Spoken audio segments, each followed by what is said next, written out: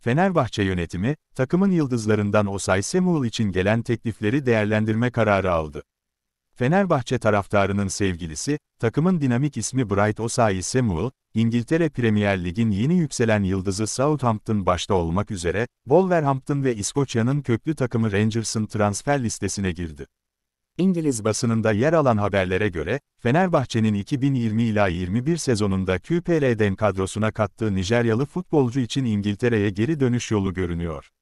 Alan Nixon imzalı habere göre, Sarı lacivertli ekip, 26 yaşındaki oyuncunun transferine yeşil ışık yakmış durumda. QPR'de kanat oyuncusu olarak görev yapan Osayi Samuel'in, Fenerbahçe'de sağ bek pozisyonunda oynadığını hatırlatan Alan Nixon, yıldız futbolcunun başarılı performansıyla dikkat çektiğini ve çok yönlülüğü olduğunu vurguladı.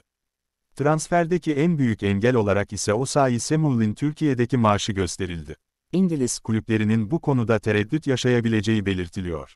Geçtiğimiz sezon toplam 39 maçta 3061 dakika sahada kalarak 4 gol ve 6 asistlik katkı sağlayan Osayi Samuel, takımının vazgeçilmezlerinden biri haline geldi.